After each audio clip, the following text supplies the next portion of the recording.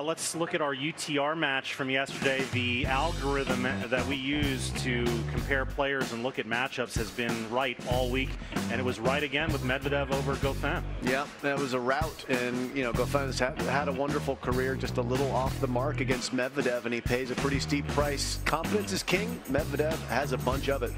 All right, today's UTR match pits Sloane Stephens, number five in the world, against number 41, Anastasia Pavlyuchenkova. What does the UTR tell us in this one, guys? It tells us that Sloane is a favorite, but very slight favorite. The ranking is really lopsided, but Pavlyuchenkova has been coming along nicely. So this is a toss-up. This could be go three sets, and it could actually be an upset.